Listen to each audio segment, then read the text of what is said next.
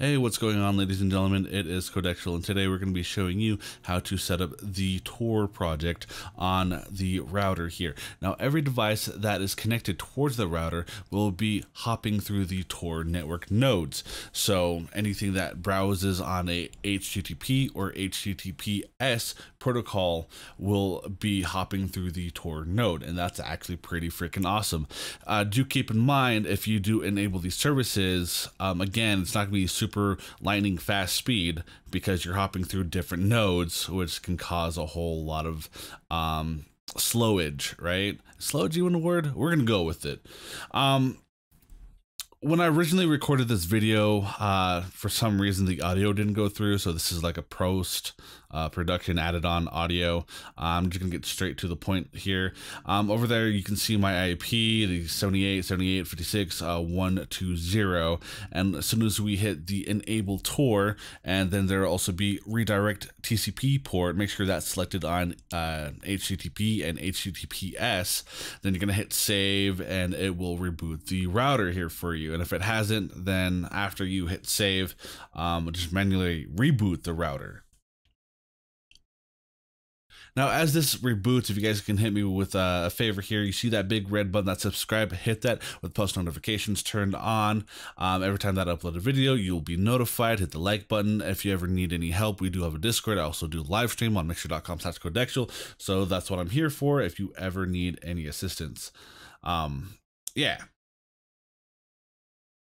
all right, now that the router has been rebooted, what we're going to do is go to ipchicken.com, and as you can see, it is the 185.220.102.4, which is completely changed from the IP that we originally had. So now that it's enabled, every device that you're on will be having that IP address.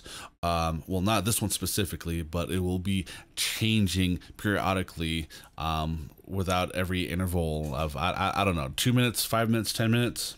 Who knows? But um, it is now hopping through the different tor nodes which is completely awesome. Again there's slowage. If you ever need to disable it just uncheck the enable tor save and reboot again. And that's basically it. I'm gonna go ahead and just leave here and uh, you guys have a wonderful day. Bye Protect your privacy and identity. Unlock censor filters if you're trying to get to a no-no site or you just want to be anonymous. Whatever your reasonings are, you can connect to the VPN tunnels within seconds by using private internet access links are in the description. It's so low like the, the the cost is so low. If you're not able to afford for this then you know you're just broke as just as i am because i'm trying to get affiliates ads going on. Yeah this is a sponsored video by the way. Um vpn features and look at all these great features. Uh, secured vpn account encrypted wi-fi peer-to-peer support and so on and so forth. And you can connect to 33 different countries and there's a lot of servers to go around. Plus there's a fast download. I use this for myself as well when I try to get to those no no sites. Yeah. Okay, let's go back to the continued content and thank you for the support. Links in the description. Thank you for sticking around. Please feel free to watch my other videos. Don't forget to like, share, subscribe, follow my social media. If you're feeling generous, check out my Patreon or send in a donation of any amount with PayPal. It really helps out with post production, equipment, food in my belly, and also continue making free content for you guys. Links in the description. Y'all take care and thank you once again.